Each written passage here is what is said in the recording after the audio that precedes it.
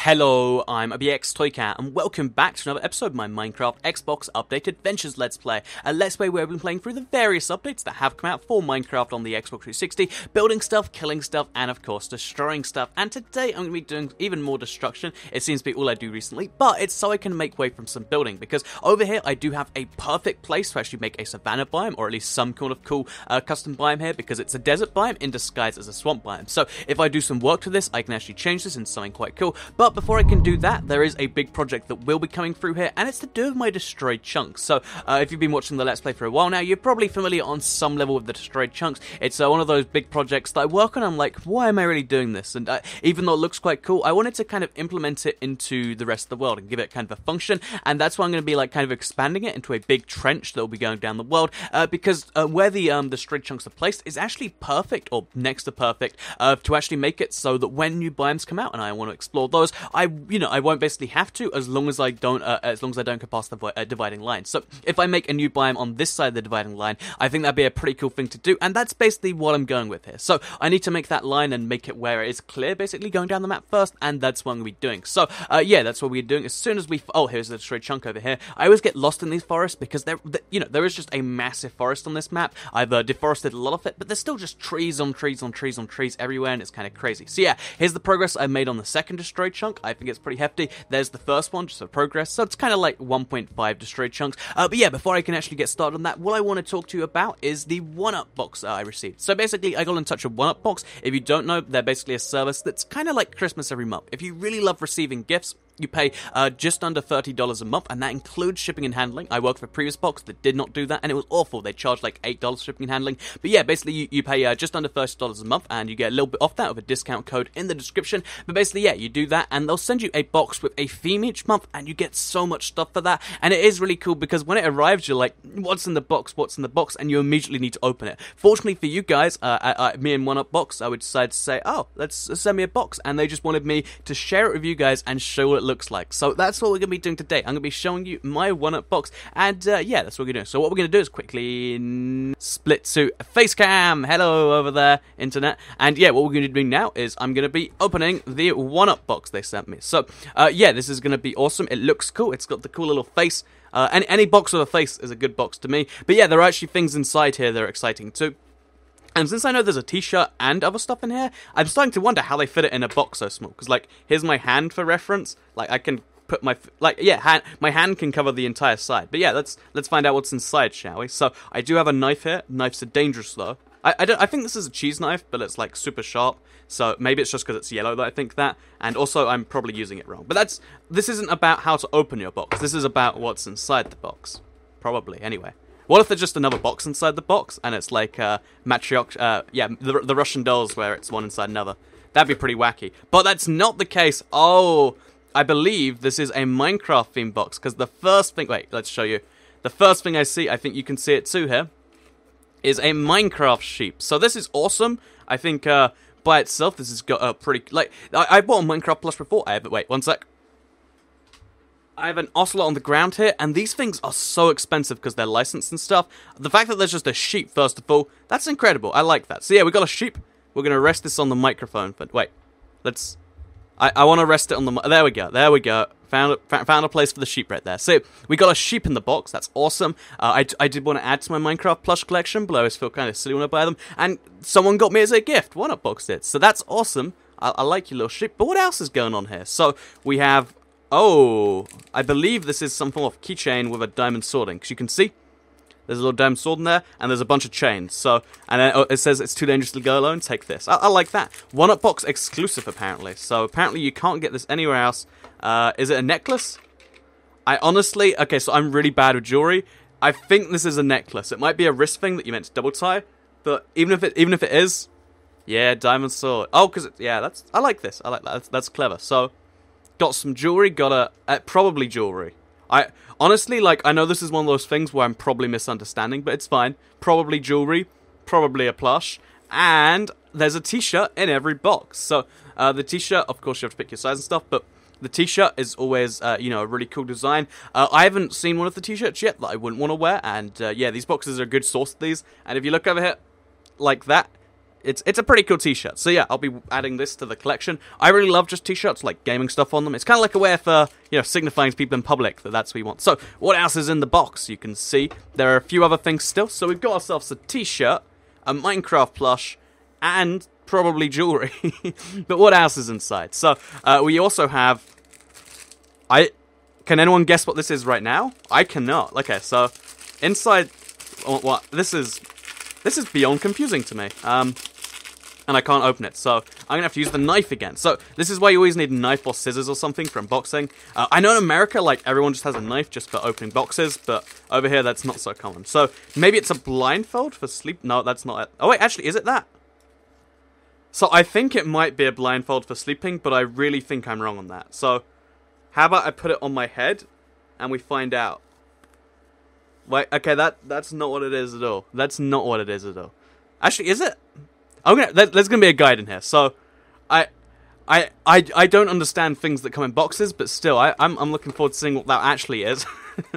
I might be right, and I might just be doing it wrong. So then we have a bunch of stickers. I see, uh, like you can see, really cool one-up box stickers. If you want to stick a one-up box sticker anywhere, because you know you like the box, that's always a cool thing you can do.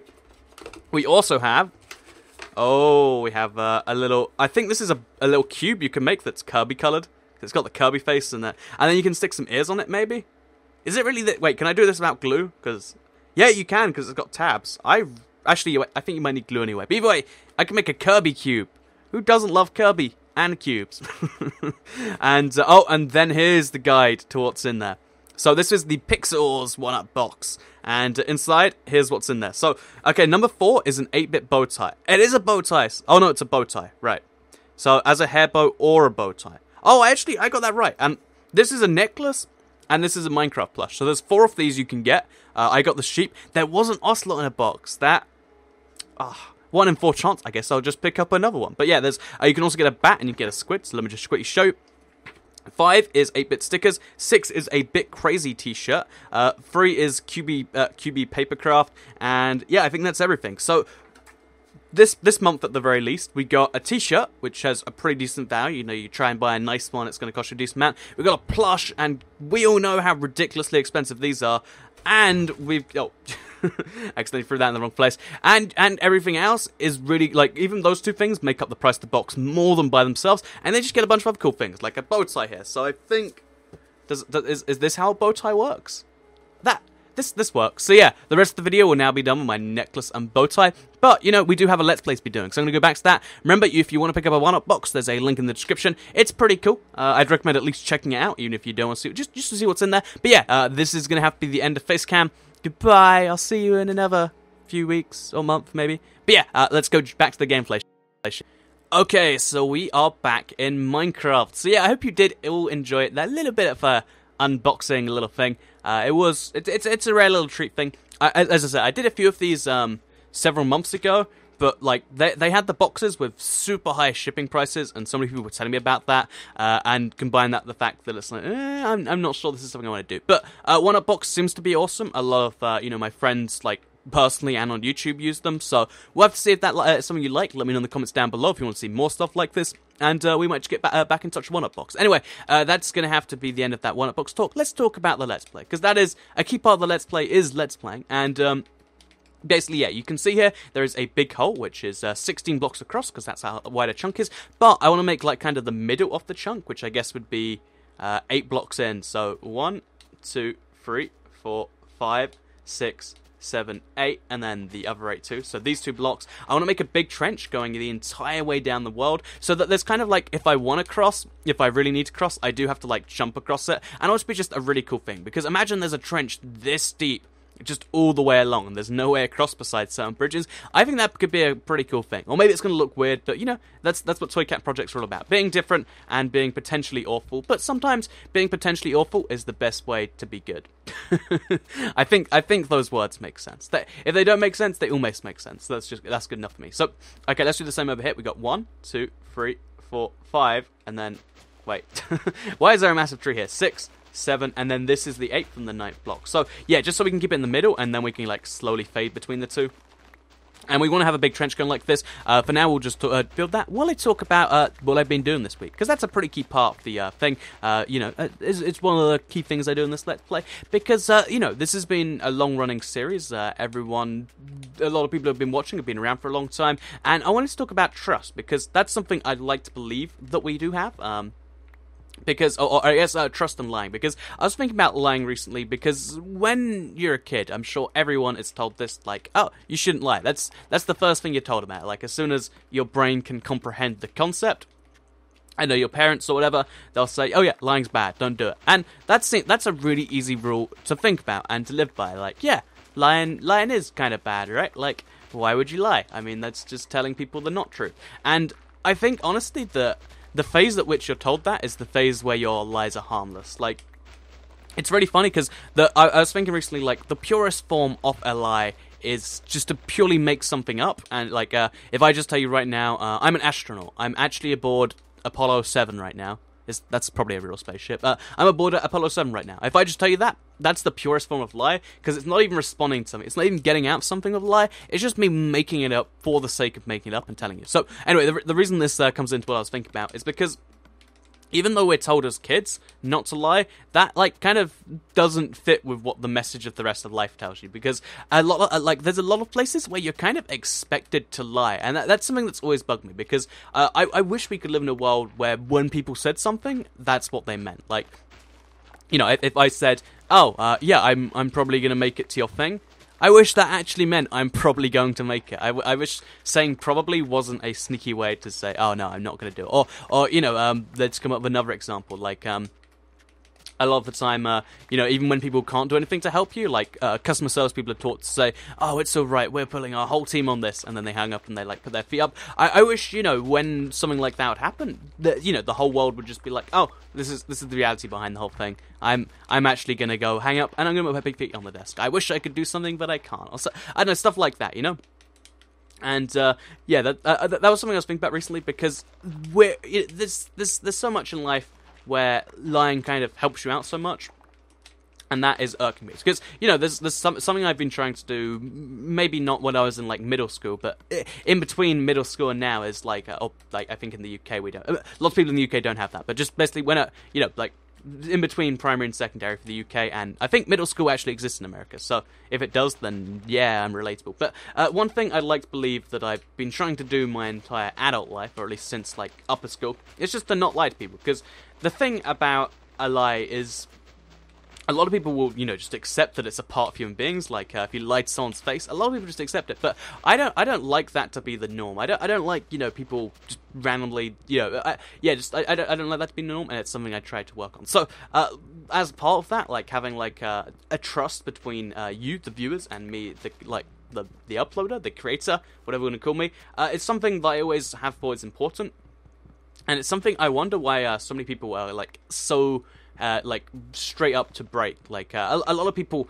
actively try. Um, so ba- basically, um, that video, that today's video was sponsored. It'll say so in the description. Uh, and I even mentioned like we spoke to One Up Box about this. I'm not just like, ah, oh, here's this One Up Box I bought, and you should check that out. And like, I, I see a lot of people who just straight up lie about a lot of really really important things, and it's like you're you're not helping anyone, and like, you, or you you might be vaguely helping yourself, but by doing such a big lie to your, you know, it's, it's like um if I upload a video, so um, when I do news, I'm, I try to make sure if I give my opinion, it's actually my opinion, and if I give you news, it happened or it looks like like it genuinely looks like it's happened. Because I see um, a lot of YouTubers, um, in particular when it comes to news, because the thing about a lot of news is it's I, I think I spoke about news last week, but a lot a lot of news is actually based on um, you know like headlines and stuff.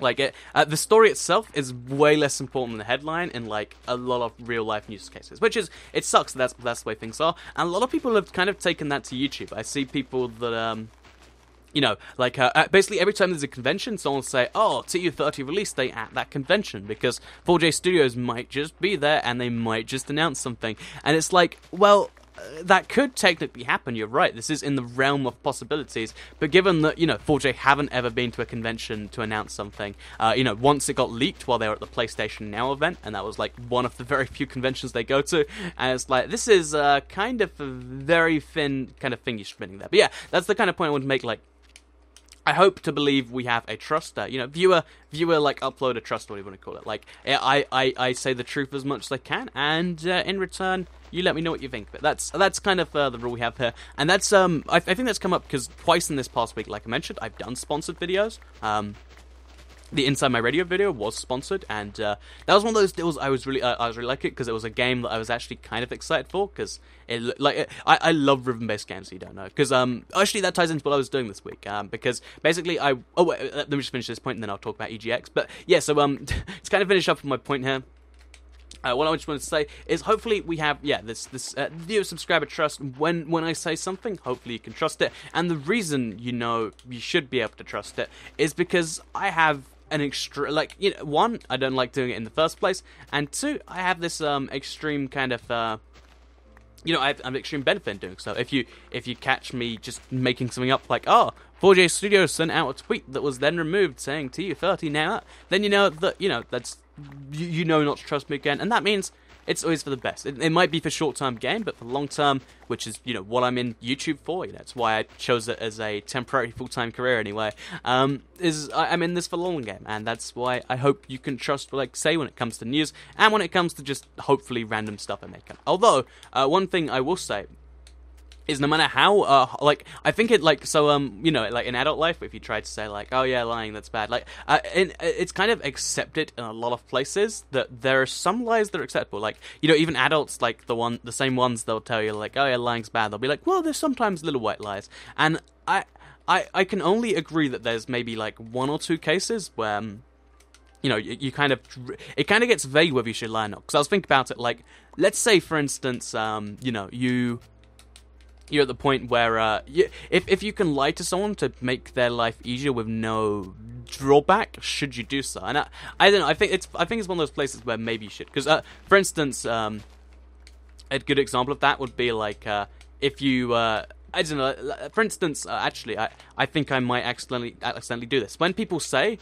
um, you know, if, if someone asks me, "Oh, Toycat, how much money do you make?" Uh, what I respond with is I can't tell you. It's against the uh, AdSense uh, terms of service. And that is entirely true. But the reality is, it's actually kind of a grey area because I don't have, or I have personally, but uh, when you sign up for a YouTube partnership, you don't sign a contract with AdSense, meaning it's not technically legally binding, but yet because you signed a contract with someone who signed a contract with AdSense, and because you indirectly work for them, uh, this is going way off topic, but uh, because you did that, that means that technically speaking, on some level, that is true still. So when people, you know, when people say that, because even though it's a great a grey area, instead of just saying that, I just say the simplification. And I wonder if you know, simplifying something to lie is does that still count? Is it not? And uh, yeah, I, I, always sometimes get in this uh, sort of trap because honestly, it's one of the most valuable traits you can get in someone.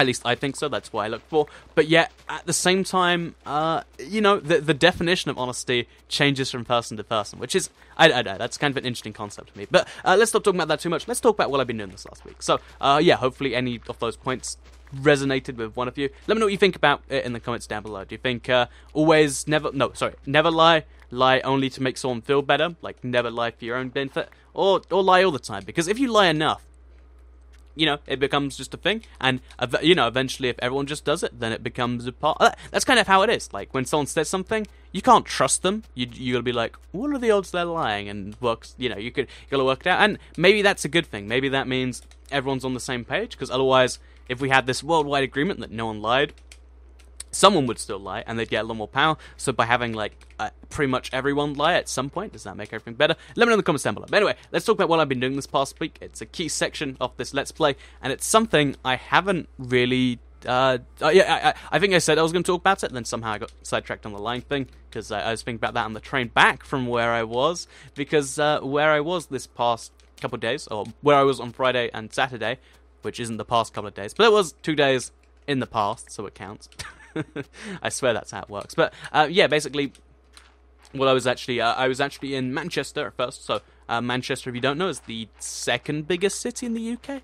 I hope I got that. Right. Yeah, it's it's got to be. If it's not the second biggest, it's the third biggest. But it's a it's a very big city in the UK, but it's really far away from London and you know a lot of the other stuff uh, people know. And it's also quite different to London and stuff. And I was there to to meet someone, and I actually learned quite a few life lessons uh, this weekend. First of all, I learned that uh, when you get when you book at like a reasonably nice place, you do actually have to make reservations. Like whenever I watched a TV show where they'd make reservations or like a movie, I thought that was just something people did in the 1970s or something.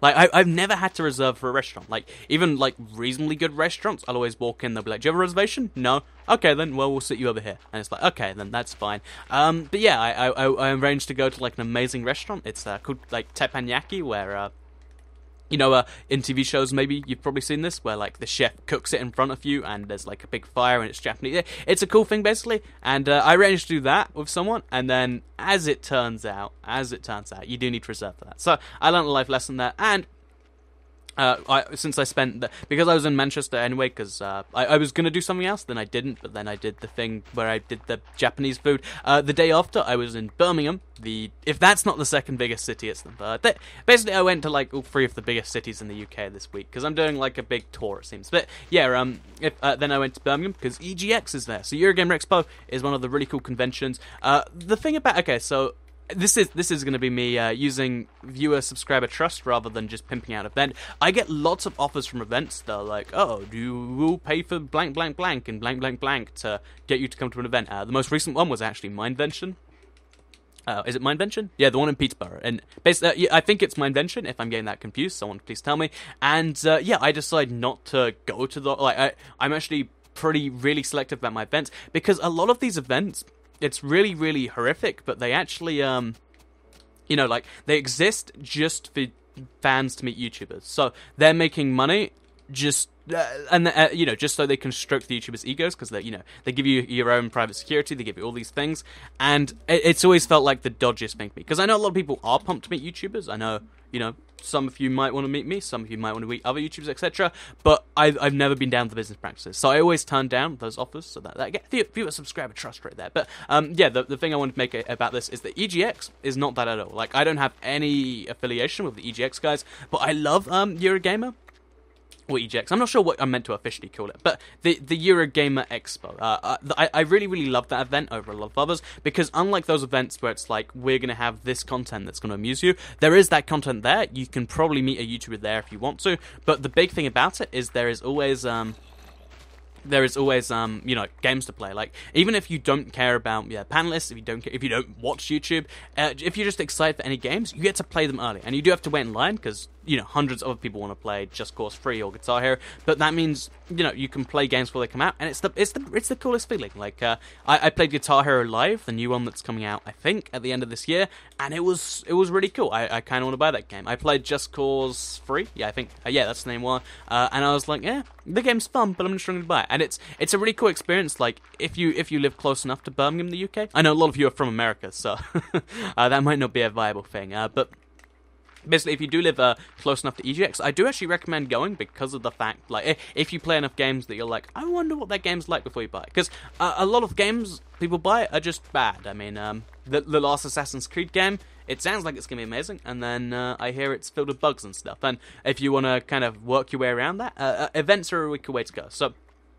yeah, that's uh, that's my kind of opinion on events. Uh, I like it when there's actually things to entertain you, and this event actually had entertainment by itself. It wasn't just go meet some YouTubers. So uh, yeah, there there's uh, I think everything I've done this week. Um, I went up to Manchester, I went to Birmingham, and then I came back on what was probably the longest train ride ever. Um, and yeah, I, that's that's kind of been uh, my past week. Besides that, was actually preparing videos for the whole thing because uh, preparing three plus videos a day is kind of tricky. But yeah, I hope you. Oh, I've run out of inventory spaces. Oh no, we have. There we haven't. Um, yeah. So uh, while we just uh, finish this last inventory slot and then go move it back to the house, um, I hope you did all enjoy this episode of the Minecraft Xbox 360 uh, updated adventures Let's Play. If you did like it, please do like it and let me know. Let me know if, what you think of the one up box thing. Do you do you like it? Do you not? Let me know what you think with the uh, the comments down below, and let me know what you think of the uh, the whole lying situation. Because I think I might just have like extreme views on it, or maybe maybe like everyone believes that no one should lie. But we'll, we'll have to see about that in the comments. But thank you all for watching. I hope you did all enjoy it. Uh, I made a decent start on this little trench, but I want it to go all the way up and down the map, so that's going to be quite the challenge. But it's it's it's one I'm looking forward to doing. Um, I hope you did all enjoy the video. If you did like it, please do like it and let me know. Share if you really liked it, and subscribe if you're new around here. I make videos like this every single day on my channel, and if subscribed, you'll see them daily on your homepage. Uh, one more thing, actually. I forget. I have diamonds down here that I keep meaning to silk touch up, but I just haven't done it. So let's. Oh, I don't have any slots. Um, We'll throw away the saplings, it's fine. Um, yeah, so uh, basically we need to silk touch these up because uh, lots of people are wondering how I have 70 diamond ore in my chest. It's because I'm waiting for an, a, uh, a fortune free pickaxe. Next week, or, or, like between now and next week, I'm just going to keep grinding enchantments over and over again until I get fortune free. So now I've got 7 diamonds from this, plus 70 diamonds in the chest. I think that makes 77 diamonds. So yeah, next week's going to be really exciting. Uh, definitely tune in for that one. Thank you all for watching the video, and I'll see you in the next one.